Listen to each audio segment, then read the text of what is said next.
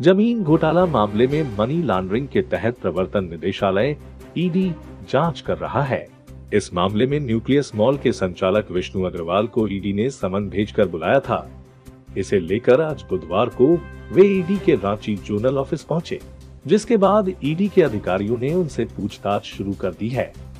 इससे पूर्व में विष्णु अग्रवाल को 8 मई को ईडी ने पूछताछ के लिए बुलाया था।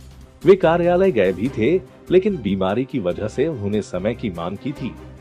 ईडी विष्णु अग्रवाल से रांची के पूर्व डीसी छवि रंजन व प्रेम प्रकाश से रिश्ते। विवादित जमीनों की खरीद बिक्री मामले के अलावा फर्जीवाड़ा करने में सहयोग करने वालों के बारे में जानकारी लेगी ईडी ने दस्तावेज़ में जालसाजी कर ज़मीन की खरीद। बिक्री के मामले में 4 नवंबर 2022 को विष्णु अग्रवाल सहित अन्य लोगों के ठिकानों पर छापा मारा था।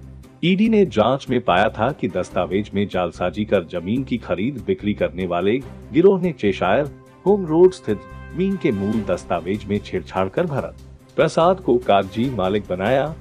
इसके बाद यह ज़मीन पावर ब्रोकर प्रेम प्रकाश के करीबी पुनीत भार्गव को सिर्फ़ एक करोड़ अठहत्तर लाख रुपए में बेची गई। विष्णु अग्रवाल ने इस ज़मीन को पुनित से एक करोड़ अस्सी लाख रुपए में खरीदी। विष्णु अग्रवाल से मिली एक करोड़ अस्सी लाख करोड़ रुपए की राशि में से एक करोड़ पचास लाख रुपए प्रेम प्रकाश के खाते में ट्रांसफ़र किए गए।